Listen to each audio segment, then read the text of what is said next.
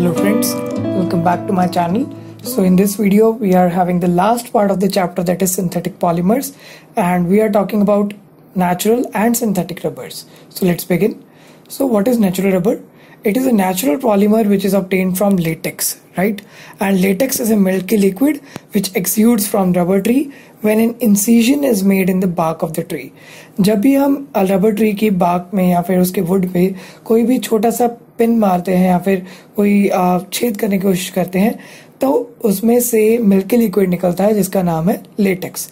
And rubber tree का scientific name है Hevea brasiliensis and it contains thirty to forty percent rubber which is coagulated by adding salt so latex में thirty to forty percent rubber होगी, और इसकी coagulation करेंगे कैसे? By adding salt and acetic acid right so acetic acid और salt डालेंगे latex में तो हमारे पास 30 टू 40 परसेंट रबर आ सकती है। और कॉगुलेशन होने में थ्री टू फोर आवर्स लगते हैं। एंड रबर जो ऑप्टेन होगी, उसे हम शीट्स में कन्वर्ट कर देंगे।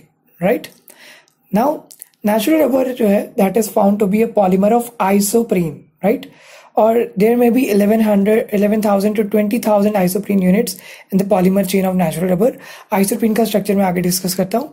A very characteristic feature of natural rubber, which is responsible for its unique characteristics, is that it has got cis configuration.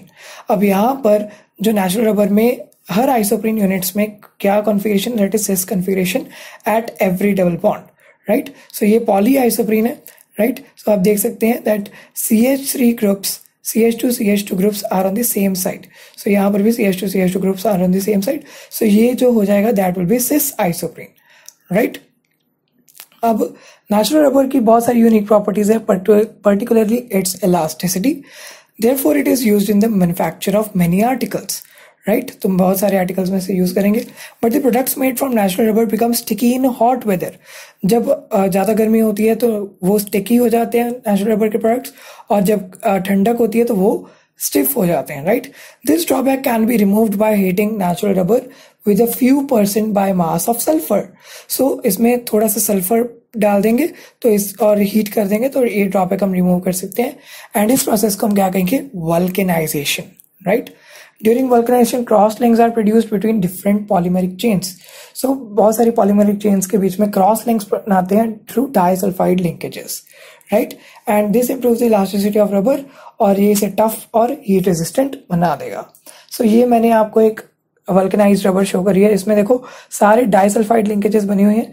यहाँ पर डायसल्फाइड लिंकेजेस अच्छे से शो हो रही हैं और ये क्रॉस लिंकिंग शो कर रहा है। एंड यहाँ पर भी सल्फाइड लिंकेजेस बनी हुई हैं, जो कि हमें शो करी है कि इसमें वल्कनाइजेशन कैसे होती है right so next we have is it is possible to prepare rubber with different physical properties by controlling the amount of sulfur right? तो हम सल्फ़र का डिफरेंट डिफरेंट अमाउंट डालेंगे तो डिफरेंट डिफरेंट फ़िज़िकल प्रॉपर्टीज़ निकलेंगी rubber की। So so, जैसे हम one one से थ्री परसेंट सल्फ़र डालें तो रबर जो होगी सॉफ्ट एंड स्ट्रेची होगी और उससे रबर बैंड्स और ट्यूब्स बनेंगे। Then three to ten percent sulphur डालें तो थोड़ी सी हार्ड होगी then it is flexible rubber जो कि मैनुफैक्चर ऑफ़ टायर्स में यूज़ होगी।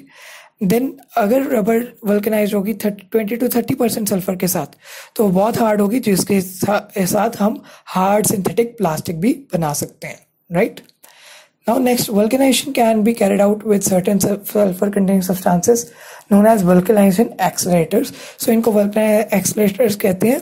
और इसे एग्ज़ाम्पल है, जैसे two merca mercapto benzene thiol so ये उसका एग्ज़ाम्पल है, जैसे structure of two mercapto benzo thiazole so thiazole में क्यों? बिकॉज़ इसमें नाइट्रोजन है right and second is two two thiobis benzene benzothiazole so इसमें बिस बेंजेन थायाजोल है सो इसमें लाइक like दिस इसका स्ट्रक्चर रहेगा राइट सो नेक्स्ट है सिंथेटिक रबर सिंथेटिक रबर जो है that is general name for synthetic polymers that have rubber like properties.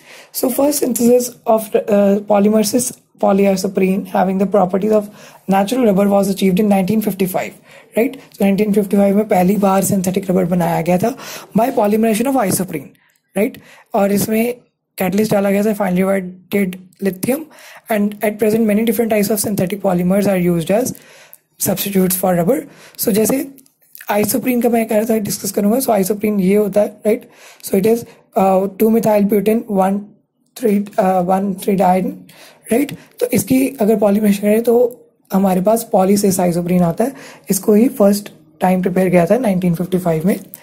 Next है इसके कुछ examples it is synthetic polymers के एग्ज़ाम्पल फ़र्स्ट हमारे पास है सिस पॉलीब्यूटा डाइन एंड ये सिंथेटिक पॉलीमर है, उस properties are similar to natural rubber and it can vulcanise in same way right इसे प्रिपेयर करेंगे by polymerisation of one three butadiene in the presence of Ziegler Natta catalyst हमें पता है Ziegler Natta catalyst क्या होता है? And one four addition occurs in each butadiene molecule and remaining double bonds are in cis position जैसे सारे यहाँ पर ब्यूटाडाइन है राइट right? और सिग्नल नेटवर्क एटलीस्ट डालेंगे तो सिर्फ़ cis आयन बनेगा, सारी जो डबल बॉन्ड्स हैं, वो हैं एंड वन फोर एडिशन हो रही है in each butadiene right so first और सेकेंड फोर्थ कार्बन पर आगे एडिशन रहेगी। Then we have this styrene butadiene rubber, that is SBR right? And it is formed by free radical addition copolymerization of one part weight by weight of styrene. एक part styrene का रहेगा three parts of butadiene रहेंगे सो styrene जैसे मैंने पहले भी discuss करा benzene ring होती है इसमें एंड ब्यूटाडाइन तो हमने पता ही वन थ्री ब्यूटाडाइन एंड इन दोनों को, इनके दोनों की रिएक्शन करेंगे in the catalyst potassium per sulphate and we will get the styrene butadiene rubber that is like this so इसमें सिंपल है।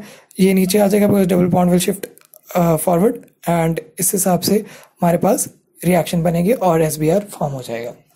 Then we have butyl rubber ये एडिशन को पॉलीमर है आइसोब्यूटाइलिन और आइसोप्रीन का राइट आइसोब्यूटाइलिन बहुत ज़्यादा डालेंगे 98 परसेंट एंड आइसोप्रीन थोड़ा सा डालेंगे that is two percent and इसमें कैटाइनिक मैकेनिज्म यूज़ हुआ। पॉलीमेरिक चेंज जो यहाँ पर होगी obtained that are linear but इनकी क्रॉस लिंकिंग कैसे होगी? थ्रू वल्केनाइजेशन राइट तो हम यहाँ पर जैसे ये आइसोप्रीन है और आइसोब्यूटाइलिन है। इनको हम कैटलिस्ट के प्रेजेंस में हीट करेंगे and we have the this structure that is butyl rubber so butyl rubber आप सिंपली देख सकते हैं। इसमें uh, दोनों चेंज जुड़ी हुई हैं एंड डबल बॉन्ड जो है वो आगे शिफ्ट कर रहा है एंड उस हिसाब से बॉन्ड्स बन रहे हैं right so it is a dimer जो मैंने शो किया था। अब कैरेक्टरिस्टिक्स क्या है?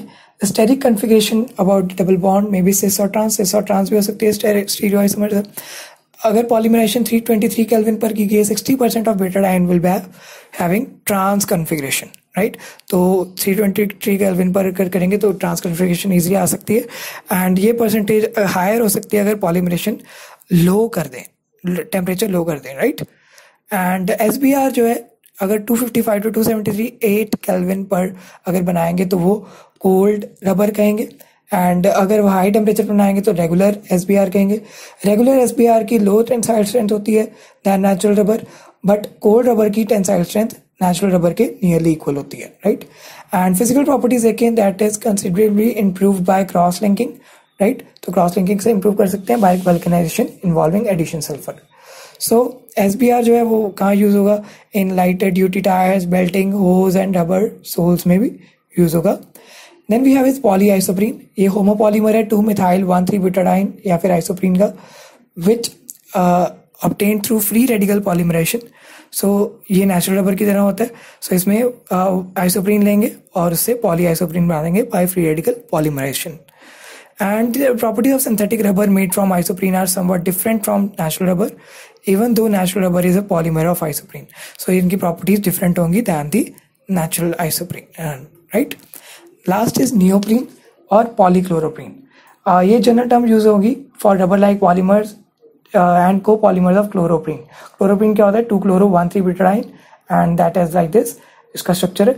जो पॉलीमराइजेशन होगी that will be proceeded by free radical addition mechanism और जो प्रोडक्ट फॉर्म होगा that has trans configuration around double bond so यहाँ पर जैसे मैंने लिया क्लोरोप्रीन उसमें पोटेशियम पर सल्फेट डालेंगे और नियोप्रीन हमारे पास इजिली ऑप्टेन हो जाएगा। Last we have is characteristics neoprene जो है that is superior to natural rubber in certain respects as it is the action of oil and other natural solvents so ये natural rubber से superior है. And it has high tensile strength and good weathering resistance so ये जल्दी खराब नहीं होता और high tensile strength है इसकी. एंड न्यूप्रीन जो है that is vulcanised by heating without using any sulphur जो इसकी वर्कनाइजेशन का मेन फ़ायदा क्या है? सल्फ़र के बिना इसकी हीटिंग से वर्कनाइजेशन हो सकती है.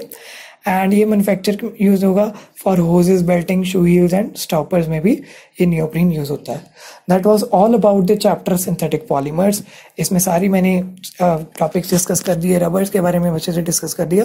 So if you have any doubts then comment in the comment section and thanks for subscribing the channel and uh, hit the bell icon if you want another videos to reach out to you first and thank you for watching have a good day